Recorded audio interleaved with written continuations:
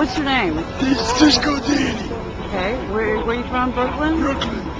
And what's your claim to fame? Why do they call you Disco Danny? I dance, I love to dance. dance? Yeah. And tell me about you say you have plates in your body or I got metal plate there, I got metal plate back there. I why? got metal right in my leg. I got it by the car.